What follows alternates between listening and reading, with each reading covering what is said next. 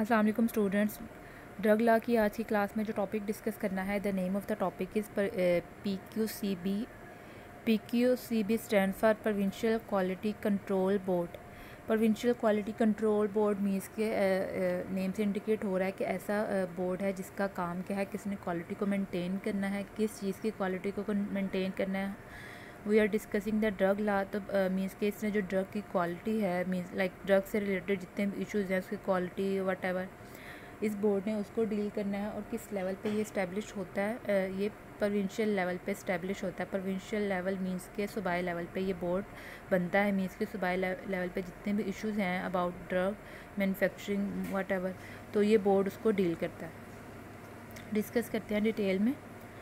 Provincial quality control board इसका first point है जो आपकी प्रोविंशियल गवर्नमेंट है जो सूबाई गवर्नमेंट है वो इसको इस्टेब्लिश करती है। Each provincial government shall set up a provincial quality control board consisting of such members इसके अंदर मीन्स के कौन कौन से मेंबर्स आते हैं इस बोर्ड के अंदर। लाइक like, कोई भी इंस्टीट्यूट है उसके अंदर इंस्टीट्यूट की जो फॉर्मेशन होती है उसमें डिफरेंट मेंबर्स होते हैं। इसी तरह आपका जो प्रोविंशियल क्वालिटी कंट्रोल बोर्ड है इसके अंदर डिफरेंट मेंबर्स हैं। फ़र्स्ट वन है chairman as that government may appoint from time to time. जो आपका चेयरमैन है, प्रोविंशियल क्वालिटी कंट्रोल बोर्ड का, उसको गवर्नमेंट अपॉइंट करती है from time to time. Means के आफ्टर सर्टन पीरियड या जितना उसका ड्यूरेशन है, उसके बाद गवर्नमेंट उसको चेंज करती है, अपॉइंट करती है किसको? चेयरमैन को। नेक्स्ट पॉइंट क्या है? The chairman and the other members of the provincial quality control board shall hold the office during the player of the provincial government इस पर वही बात कह रहे हैं कि जो आपका चेयरमैन है मीन्स का जो पी क्यू सी बी का चेयर पर्सन है और बाकी जो अदर मेंबर्स हैं उस, उसके अंडर, वो तब तक ड्यूटी परफॉर्म कर सकते हैं जब गवर्नमेंट चाहती है, ठीक है? होल्ड ऑफ़िस का यहाँ पे मीनिंग है कि मतलब ड्यूटी परफॉर्म करना, जॉब जॉब करना।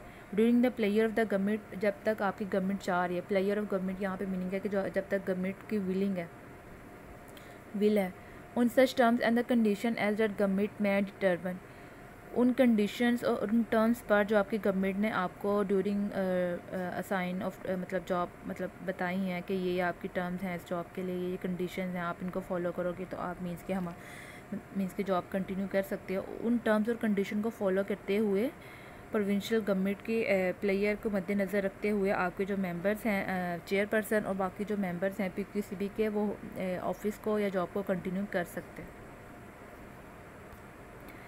थर्ड पॉइंट है the provincial government shall appoint a person to be the secretary of the provincial quality control board जबकि प्रोविंशियल गवर्नमेंट है वही किसी पर, किसी पर्सन को जो पी क्यू सी बी का जो सेक्रेटरी है अपॉइंट करती है and provide the board with such staff as the provincial government may consider necessary और जो आपकी प्रोविंशियल गवर्नमेंट है, जो सेक्रेटरी है, वो भी वही अपॉइंट करती है। उसके अलावा जो जो स्टाफ उसको रिक्वायर्ड है अकॉर्डिंग टू देयर टास्क वो भी आपकी जो प्रोविंशियल गवर्नमेंट है वही उसको अपॉइंट करती है time to time